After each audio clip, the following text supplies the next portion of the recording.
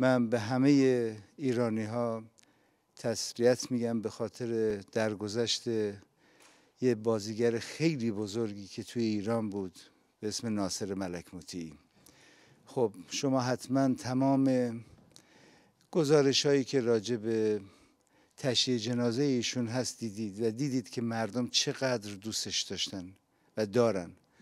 اینجا هم حتما شما دوستش داشتین.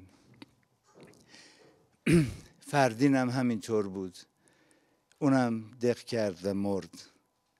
چون من یه مصاحبه داشتم با آقای فردین در مورد اینکه چرا به سر مردم و نسل جوون به خصوص که با فیلم های اونا بزرگ نشدن چرا فردین رو دوست داشتن؟ چرا ناصر ملک موتی رو دوست داشتن؟ و چرا بهروز وسوقی رو دوست دارن؟